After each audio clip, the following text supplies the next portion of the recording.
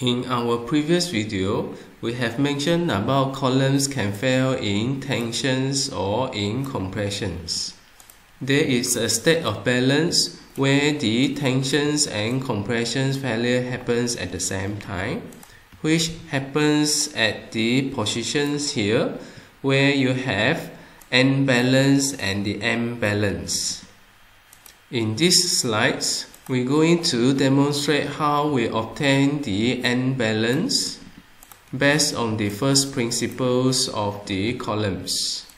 The stress-strain relationship of the column sections as well as the formulas to determine the strength in the steels has already been discussed in the previous video.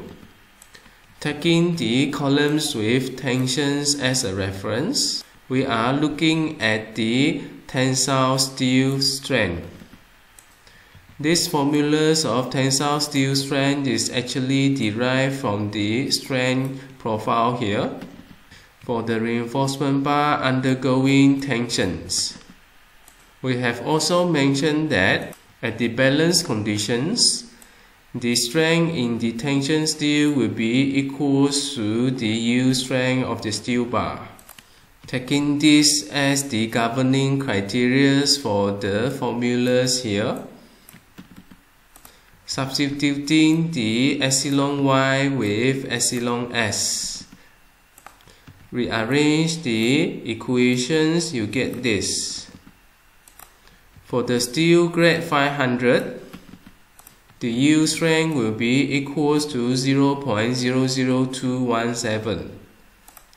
Substitute this into the equation here. You will obtain the neutral axis for the balance conditions which is equals to 0.617D. Now we want to determine the axial force when the sections is under balance conditions. This is obtained by referring to the stress plot diagram here. The axial force of the columns will be equals to the resultants of all the forces within the columns. This include the FCC, the compressive force of the column itself, FSC, the compressive force due to the compression steel bar, and also Fs, the tensile force of the steel in tensions.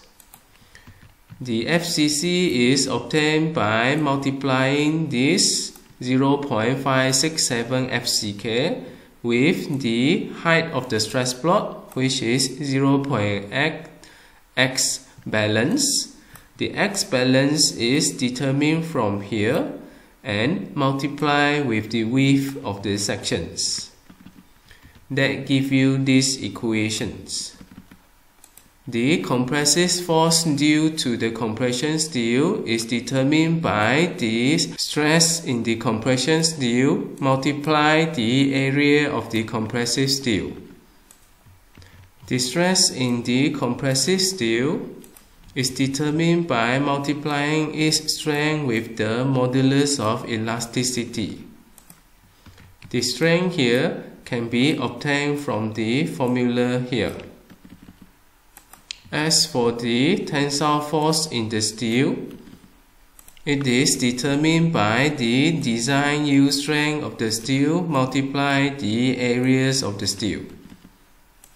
Substituting the relevant value, you will be able to obtain the axial force under the balance conditions. By referring to the stress plot diagram here, you will be able to determine the balance moment also.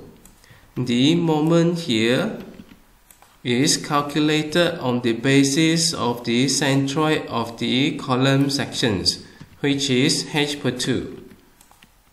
To determine the moment here, you will need to multiply the FCC with a lever arm to the centroid of the column sections.